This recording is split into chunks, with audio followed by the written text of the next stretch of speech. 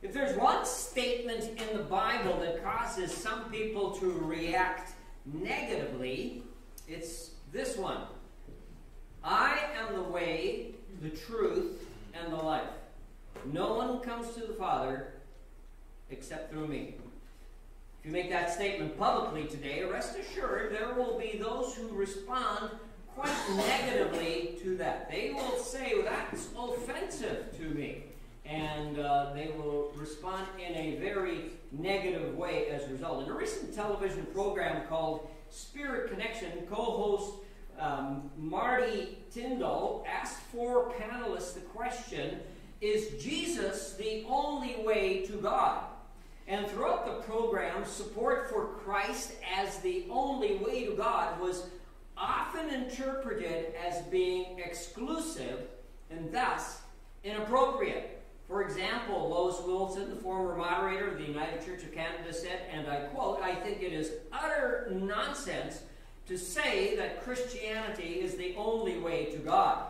Um, they had a divinity student by the name of Nabucco Iwai from Saskatoon who said, I believe that Jesus is Christ, but not necessarily that Christ is Jesus. I cannot say that Jesus is the only way. Now, I'm not sure I understand what he means by that first part of that statement. It still doesn't make any sense to me. But regardless of saying you get the drift of what he was saying, I cannot say that Jesus is the only way.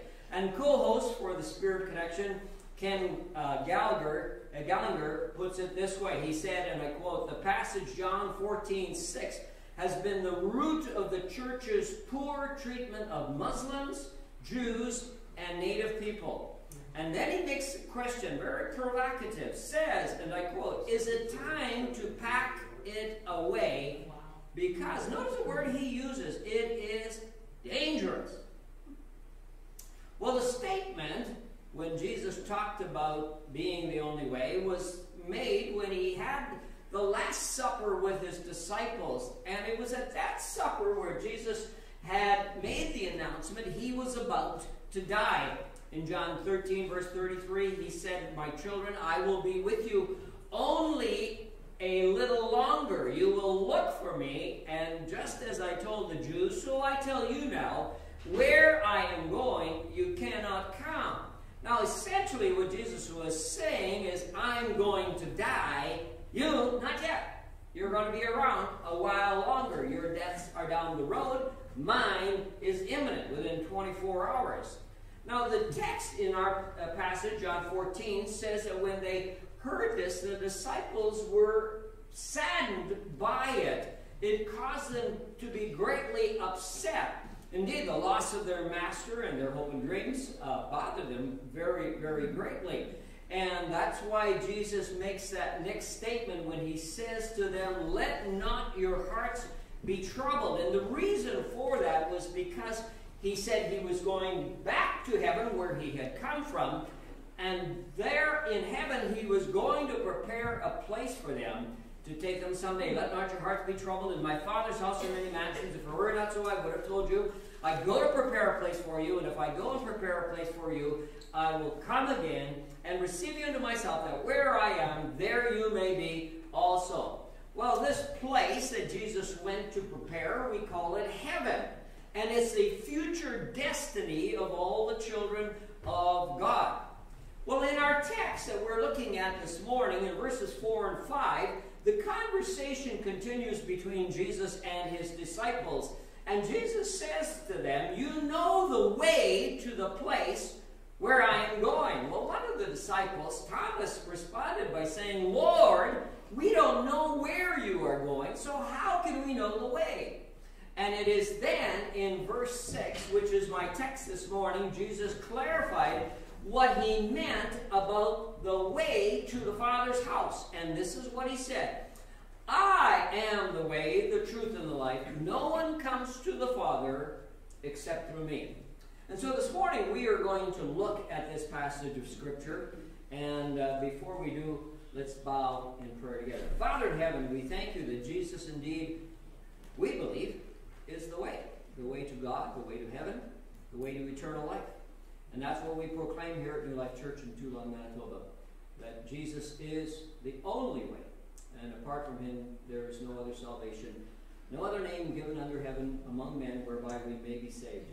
And we thank you for that. Thank you for the six this morning who showed their faith in Christ by taking the step of obedience to be baptized. Mm. And I praise you for that. We want to see many, many more come into the kingdom of God and be in heaven someday with us, where we celebrate around the throne of God. But in the meantime, we want to serve you. We live in a world that's hostile to these kind of beliefs. Help us to know how to respond in the midst of all that.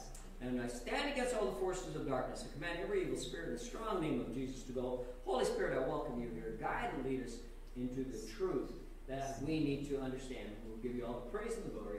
We pray this in Christ's name. And everybody said? Amen. Amen. Amen. Fellow from the city got lost out in the countryside, and he saw a farmer uh, on his tractor out in the field, and he stopped him, and he went up to him, and he said, uh, Hey, mister, he said, I'm lost. Can you tell me the best way to Brandon? And the farmer responded, said, No, ain't never been there. And uh, he said, Well, then, uh, how about to the way to Portage? No, he said, Never had the need to go there either. Um, the fellow said, Really? Well, how about to the MacGregor? That's supposed to be on the way to Brandon. And he said, No, I have no idea about that either. Well, finally, the City Slicker says to the farmer, For goodness sakes, here's a guy who's lived in Manitoba all of his life, and you sure don't know much. And the farmer responds and says, Maybe so, but I ain't lost neither. well, that's the reality concerning Jesus. He ain't lost, he knows the way. When it comes to giving directions to God and heaven, Jesus can and Jesus does.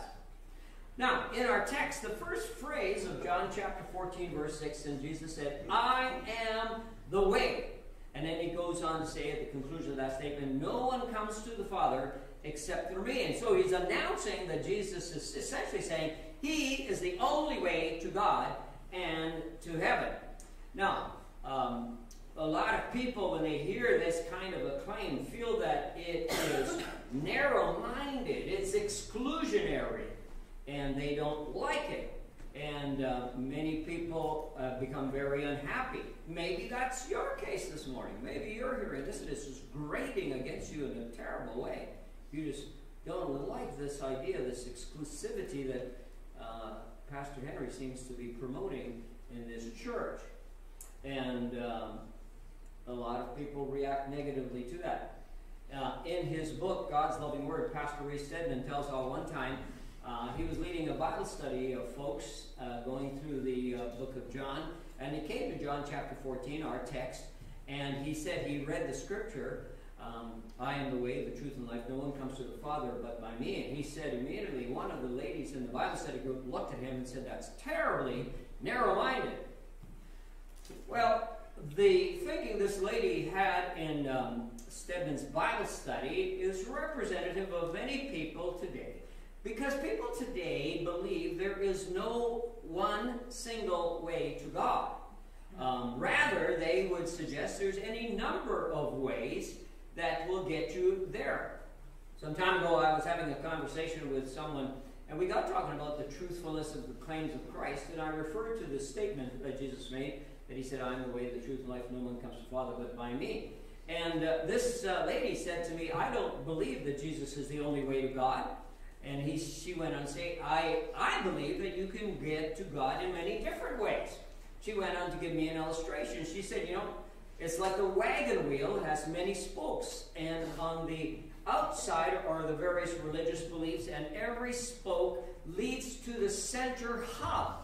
And she used uh, that as an illustration the idea that in the center you have God and then all around the circumference, you have the various religious systems of the world Shintoism, Zoroastrianism, Taoism, Islam, Hinduism, Baha'ism, Buddhism, and of course Christianity. And so her point was is that no matter what you believe, eventually you'll get there. And this belief is, is uh, many people hold it. It's, it's like all the rivers in the world flow into the ocean. And so, in the same way, all the religions lead to the same divine reality. Oprah Winfrey made the statement in one of her programs where she said one of the biggest mistakes we can make is to believe there is only one way. There are many diverse paths leading to God.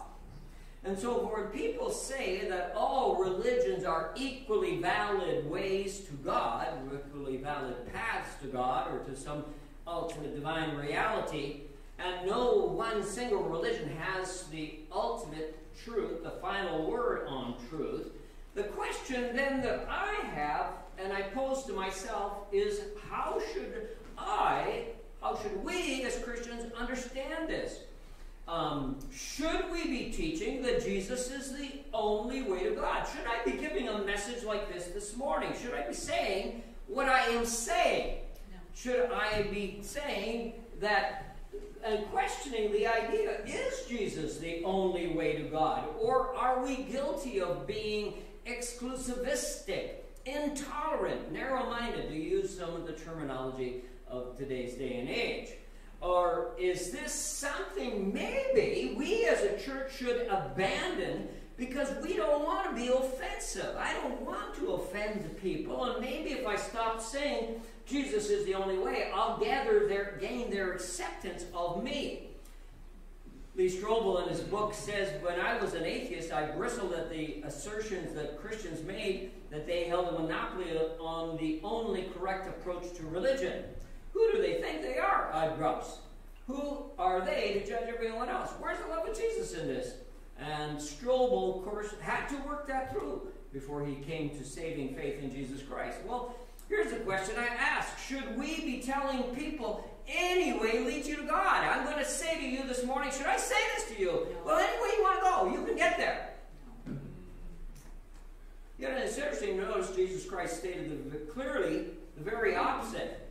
And his warnings on this were very, very specific. Notice how Jesus put it in Matthew chapter 7 when he said this Enter through the narrow gate, for wide is the gate, and broad is the road that leads to destruction, and many enter through it. But small is the gate, and narrow is the road that leads to life, and only a few find it. And he Jesus describes the two polar can go to life or to death, to heaven or hell. And he says the vast majority of people are on that broad way, heading that way, whereas a minority, a small group of people, are on the narrow path.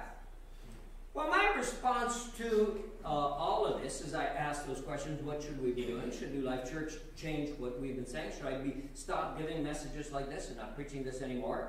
My response is that absolutely not, because we, as followers of Jesus Christ, are obligated to say what he says. Amen. In other words, I can't change what Jesus said. What authority do I, or the moderator of the United Church of Canada, Lois Wilson, or anybody else have to say Jesus was wrong? Right. Well, what, what, what basis do I have that authority?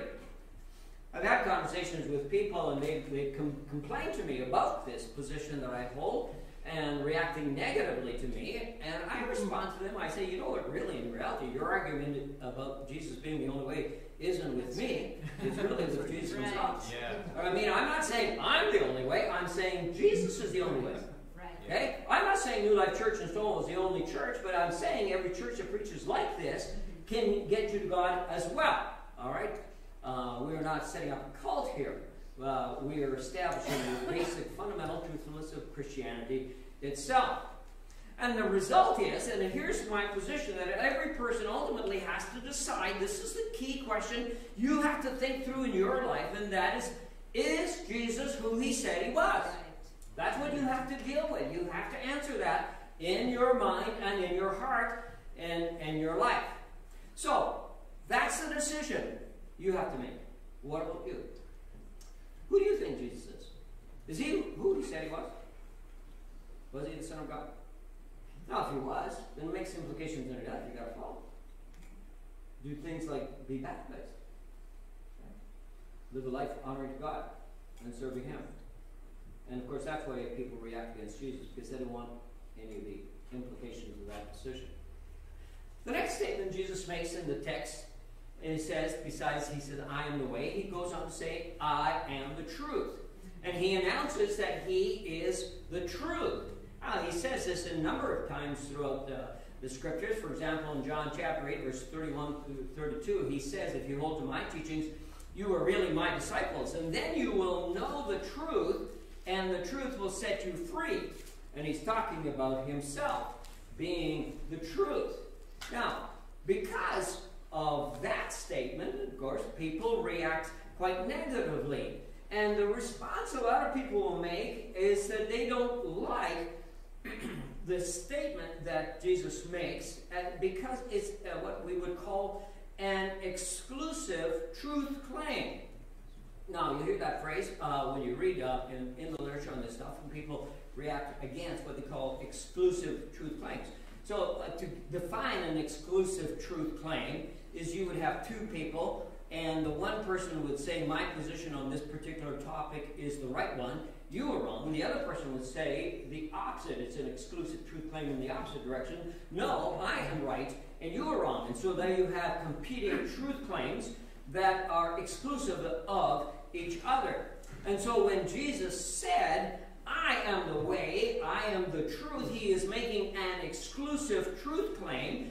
And what people who hear this react negatively, and like the statement made by the man on that TV program calling it dangerous, is because they see it as the potential of leading towards conflict. And very frequently they will point to things like the Crusades and how people killed in the name of Jesus. The um, uh, co-host of that program, Ken Gallagher, said that it has led to the treatment, bad treatment of, of, uh, of First Nations people, of um, uh, Muslims, and many other people in the world because of the exclusivity of that statement. Mark Chan says in response, some argue that social harmony can only be achieved and maintained if religionists desist from making exclusive truth claims. And so we are then told that the goal should be rather to avoid these exclusive truth claims, and rather we should be inclusionary. And we should accept equally all other beliefs and value systems and not only accept them, we should go the next step of affirming them, as you have, for example, today by the LGBTQ position, is that I not only accept their position, but that I affirm it, that yes, I agree with them.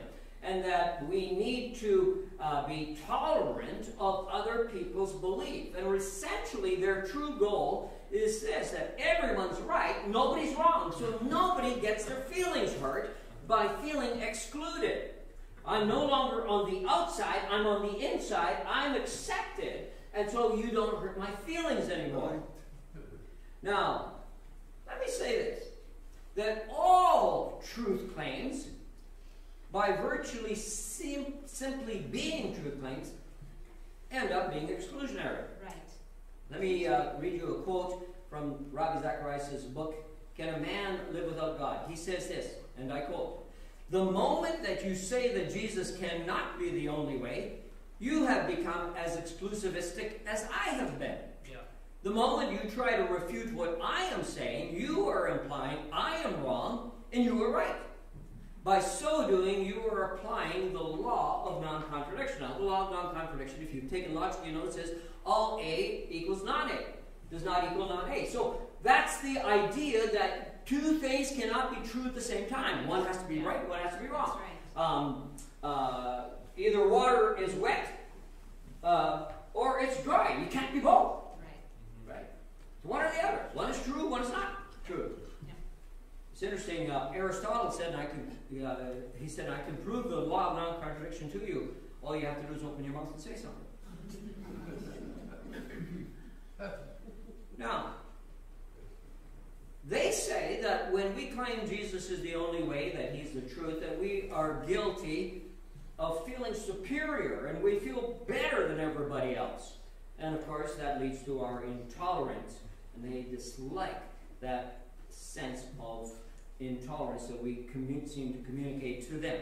However, I want to respond. I want you to notice the inherent contradiction of those who accuse us of intolerance. I've already alluded to this, but notice uh, if you say that um, Jesus is the truth and all other religions are false, uh, people will respond by saying you're wrong, that's you're intolerant.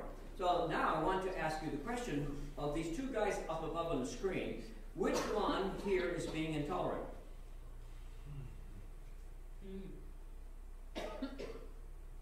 Which one is intolerant? uh, the answer is they both are. The Christian who says the original intolerant thing, and also the person who objects to it as being intolerant. Right? Because this guy here has rejected him and saying you're wrong. Now he himself is as intolerant as this guy is. Why? Because he's not tolerating this guy's position. He himself is intolerant. I like this meme that came across. You say you want tolerance and despise hate, but if I don't agree with everything you say, you call it intolerance and hate. Explain to me again how that works. It's true. Think through it. And so when people accuse Christians of being uh, intolerant by saying Jesus is the only way, they also are as intolerant. That's because she, this woman that is on this uh, slide, is intolerant of our intolerance. Uh, bumper sticker went like this Are you intolerant of intolerance? And my response to anybody who would have that as their bumper sticker says that if you are intolerant of intolerance, then you are no longer tolerant yourself. You're just as intolerant as I am. Think it through. That's exactly the way it is. It's the law of non contradiction. It has to be. So, the issue here, I want you to notice that this is the root issue behind all this. I want you to understand.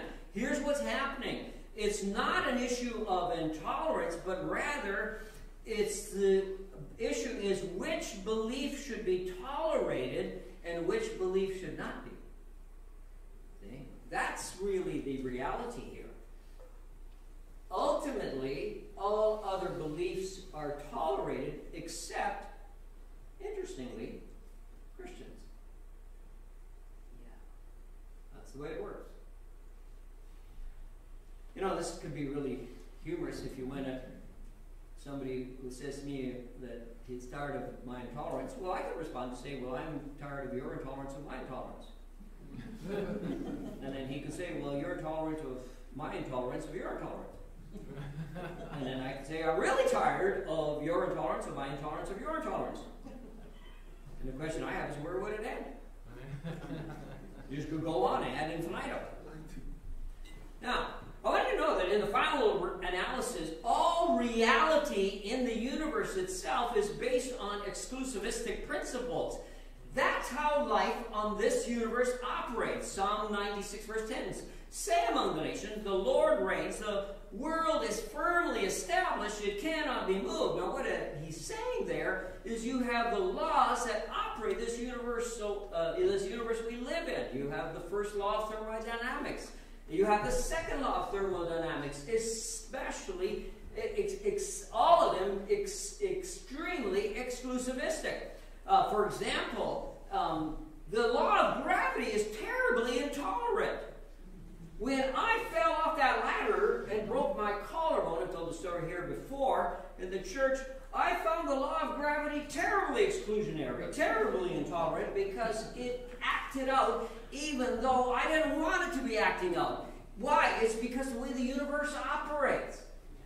We live in a universe that is exclusivistic one of my sons, uh, when he was attending university, uh, said to me, Dad, you know, uh, at university, they're teaching us that all truth is relative and there are no absolutes. And uh, he said, you know, how, how would you respond to that, Dad? And I said, well, you know, uh, you, you, can respond by saying this. The statement that they make when they say there are no absolutes, that is actually an absolute statement itself. Yeah. The moment you say there is no, you are making an absolute statement. Yeah. Now, I said to him, you know what, here's the way it works. I'll tell you what. They apply it to philosophical discussions, but they never apply that approach to real life.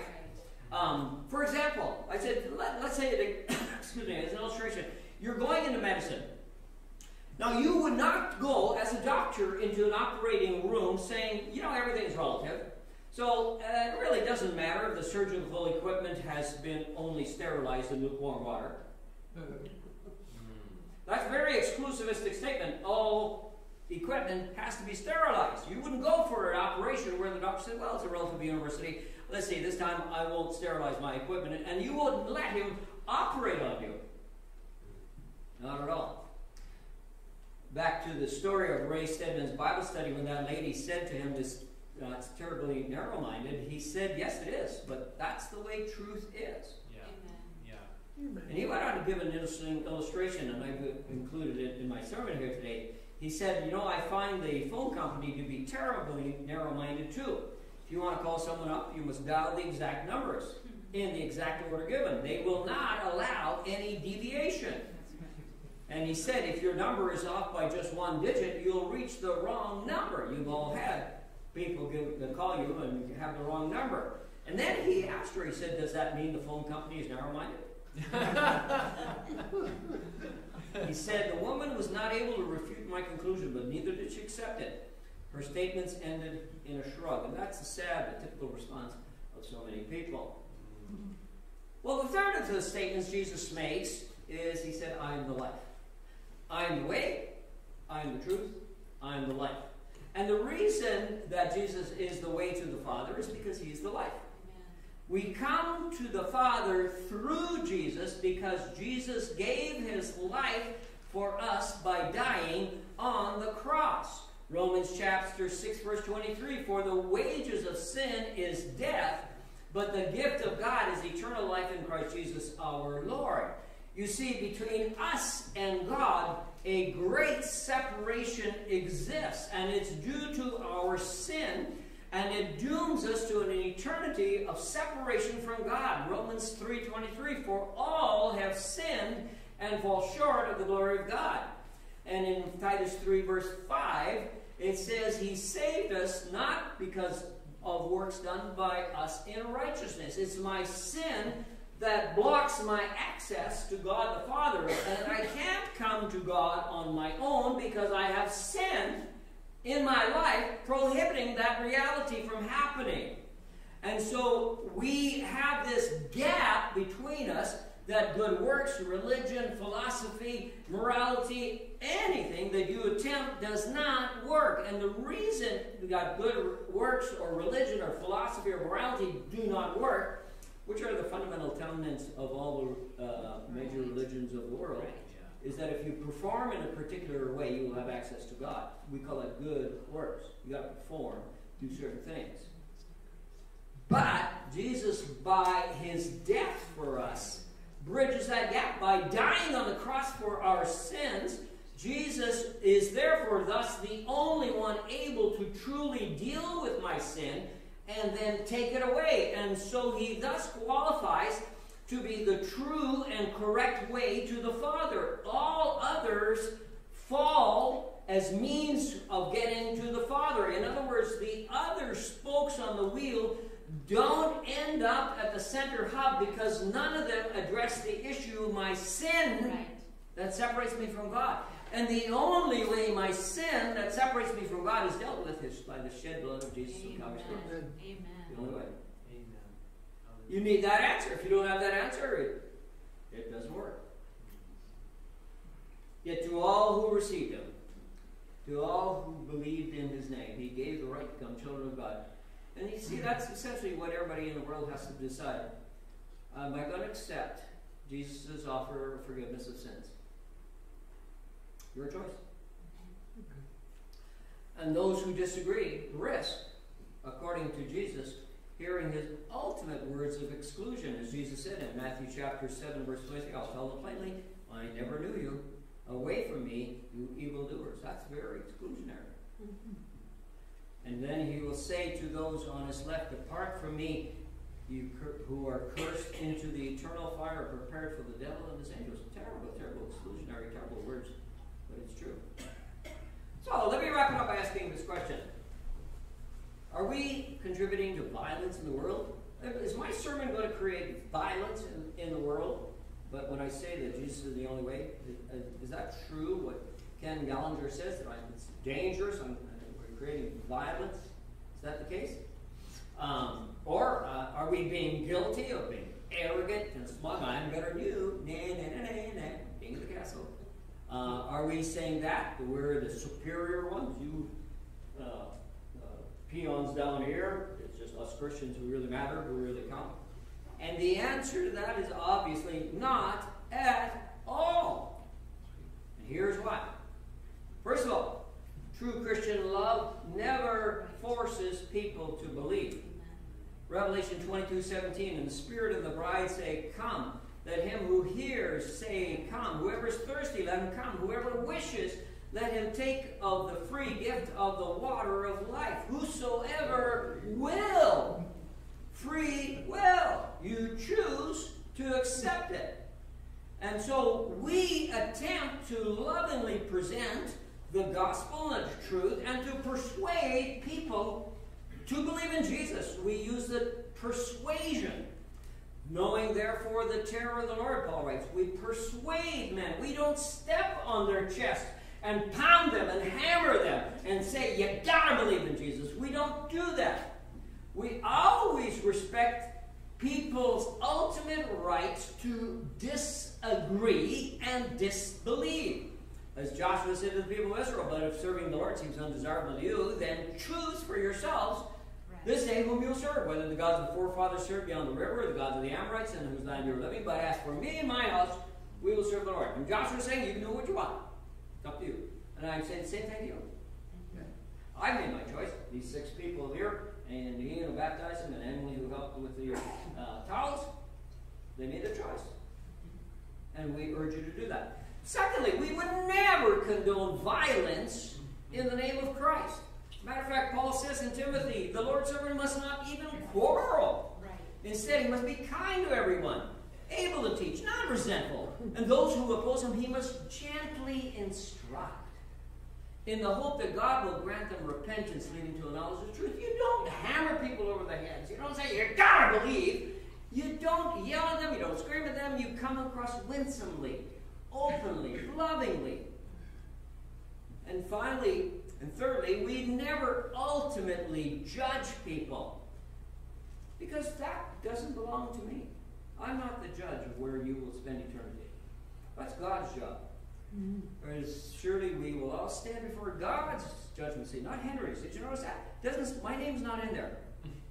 Uh, no, it's not. I, I, I, say God's judgment seat. It is written as surely as I live, says Henry, says the Lord. Every knee will bow before me, every tongue will confess to God. So then each of us will give an account of himself to God. You're not accountable to me. You can reject what I've just said. I'll still love you. I'll still accept you.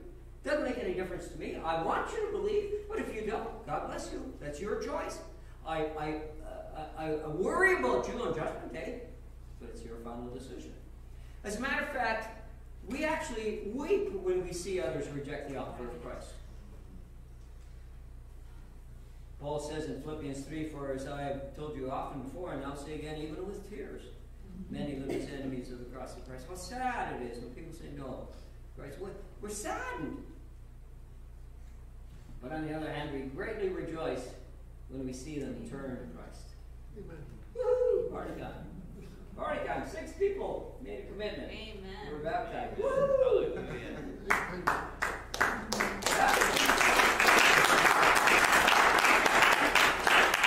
John writes, I have no greater joy than to hear my children are walking in the truth. Wow. I was so excited to get church today because I knew all these people were getting baptized. I hardly wait to get here. I feel sorry for the people who never showed up. It was a wonderful experience. Luke 15, the story of the lost sheep that we had for the kids' story, Jesus says this, and in the same way I tell you, there is rejoicing in the presence of the angels of God over one sinner who repents. You know, they're having a party in heaven right now. They're ordering the Kentucky Fried Chicken and the Coke. Okay? And the angels are enjoying it. It's party time in heaven. I hope you've been the cause of some partying up in heaven too. Has there been a party in heaven because of you? Your choices? I hope so. Father in heaven, thank you for your word. Thank you that it contains the truth about how to get to heaven. And Lord, we don't want to be come across like we've got all the answers because it's not us, it's Jesus. We simply say what we've heard him say and we pass it on. And we just want people to turn to Him. Because we honestly believe He is the only way to the Father, because He is the only one who died on the cross for our sins. We thank you for that. And this morning, with your heads bowed and your eyes closed, if you are in the service this morning and you've never made that decision concerning Jesus Christ, you've never asked Him to come into your heart and life, would you do that right now? Mm-hmm. Would you open the door of your heart? I'll, I'll explain to you how you can do it. Very easy. All you have to do is, first of all, admit you have sinned.